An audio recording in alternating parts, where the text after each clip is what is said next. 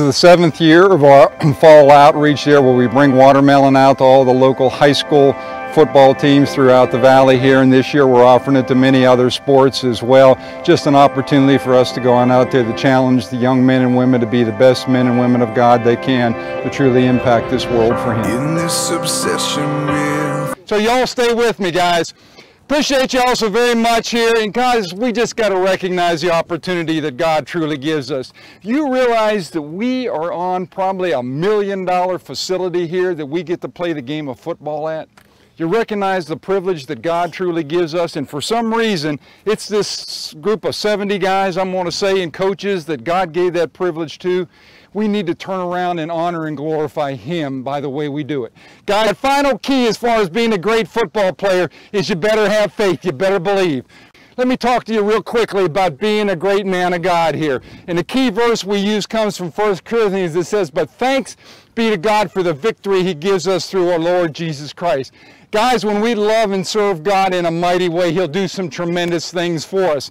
You talk about being humble. There's a great book by a guy named Mark Batterson that challenges us. And guys, I'm going to tell you, you want to be used by God just like He used Moses, just like He used David, you do this. He challenges us every morning to get down someplace quiet and push everything out. Get in a circle, if you will. That's what I got this rope here for push everything else on and say, God, I want you to use me today. Use me to be the best man of God that I can, that I can impact this football team and people around me for you. Guys, when we do that, then God can start doing the work. It's like going in the weight room.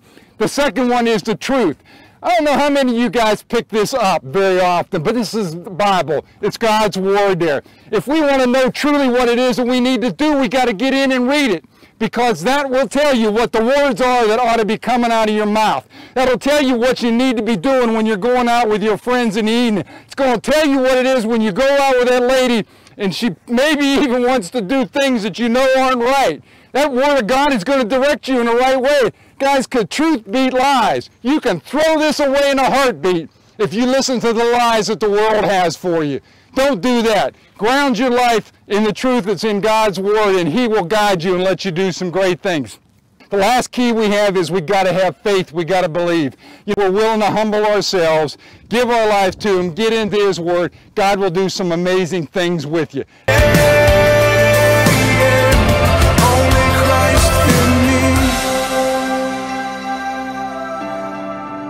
FCA for me is a, a, just a great opportunity to reach kids in the school. A lot of times you see kids that would never be connected to God in any other way, and you get a chance to talk to the athletes and teach them how to live their life as a Christian. I think that's really important uh, for us to to just have a chance to relate with all different types of kids, not just the ones that go to church, but maybe the ones that don't go to church. Um, it, it, allows us to draw them in in a, in a relaxed environment and really speak to them about the gospel, which is the reason we do what we do is we want to bring kids to the gospel and see them follow after Christ. I think FCA is really important for our kids. It gives them uh, a core group of fellow Christians to gather with. And it's really been blessed here the last year to be a character coach and to work with the basketball team over at Cave Spring High School. He's uh, done a great job in providing a structure for a lot of these kids' lives uh, that really need it.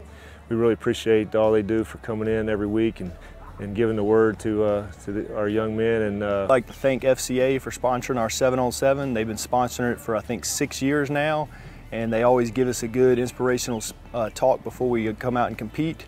And we appreciate everything they do for us before the season as well with the watermelon and we're, we're proud to be a part of uh, FCA in this Roanoke Valley. But you know what, guys? Being a Christian isn't all that easy, just like being a championship football team isn't.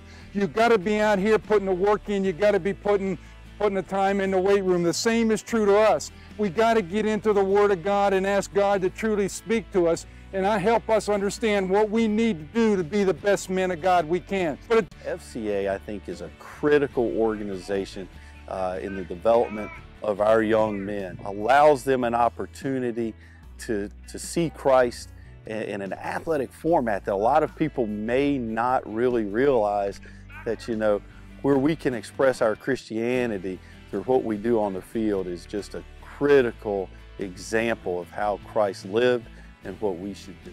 For the 30 years uh, that I can remember, uh, my high school involvement through college and, and as a teacher for 10 years or for 20 years.